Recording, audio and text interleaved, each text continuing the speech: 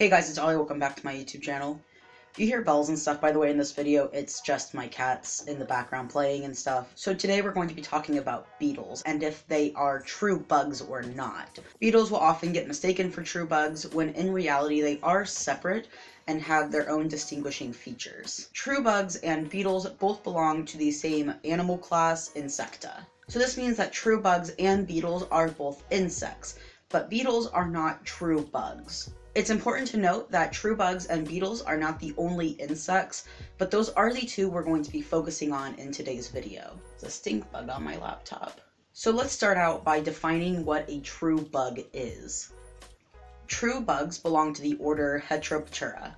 There are approximately 40,000 species of true bugs in the world, and over 3,800 in the United States. Beetles, on the other hand, make up the order Coleoptera, which is the largest group of insects. Around 40% of all insects are beetles, and 1 in 4 all known animals is a beetle. Since both beetles and true bugs are insects like we mentioned before, they do of course have characteristics of insects. They are invertebrates with six legs, a protective exoskeleton, a body with three segments, which is a head, thorax, and abdomen, compound eyes, and a single pair of antennae.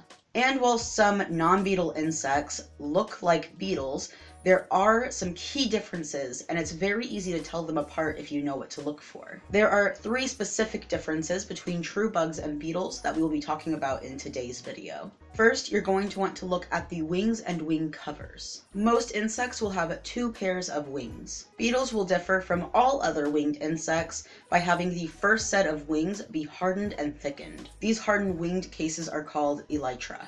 The elytra often covers most or all of the beetle's abdomen, giving them that shiny, smooth, shell-like appearance. This serves as a protection for their fragile flying wings, which are folded up underneath. In fact, the Greek root word for their order Coleoptera means sheath wing. This adaptation also allows them to inhabit places that other insects with more fragile or uncovered wings simply could not inhabit. They do make the beetles a bit more clumsy in flying, however, while other insects that don't have this protection are a little more fast and precise at their flying. And of course, there are a few true bugs whose wings resemble that of a beetle's. However, their wings are only partially hardened and thickened. The outside half of a true bug's wings are instead translucent. And not all beetles can fly, however, it is extremely unheard of for a beetle to not at least have wings. Some species, like the blue death feigning beetle, actually do still have wings, although they are not visible. Instead, they are fused underneath their hard exoskeleton. And of course, the wings are not the only way to tell beetles apart.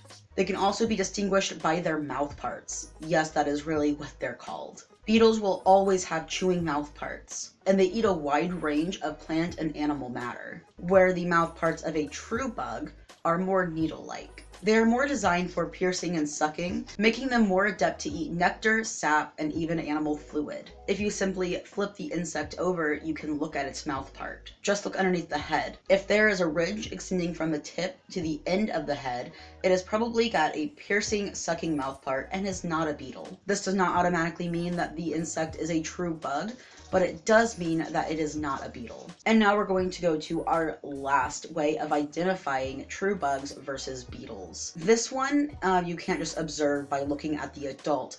This one you would have to know its life stage. Beetles have a complete metamorphosis. This means that they will hatch from the egg as a soft worm-like creature. These are called larvae. The larva will eat several times its own body weight every single day. They do this so that they can grow really fast. The larval life stages of beetles are super diverse from one another in appearance but generally they have an elongated look with three pairs of jointed legs at the front of the body. They are told apart from caterpillars by the lack of claspers at the hind segments of their body. At the end of this stage, the larva will make a hard shell around itself, becoming a pupa. At the pupa stage, they will stop eating and moving and will appear lifeless. Inside of the shell, the beetle is becoming an adult. And once they are done with that transformation, they will exit the pupa shell. They will then usually stretch out in the sun so they can dry and harden. Other insects do have a complete metamorphosis. It's not just beetles. Other insects that undergo a complete metamorphosis include bees, butterflies, moths, fleas, and mosquitoes. True bugs have an incomplete metamorphosis. This is simply where the insect will hatch from the egg looking like a small version of the adult. And the only way you can really tell the life stage that it's in is by the size. These are called nymphs. At the final nymph stage, the insect will molt into a fully mature adult. And once again, the only way you can tell the adult from the nymph stages is the size and the presence of wings.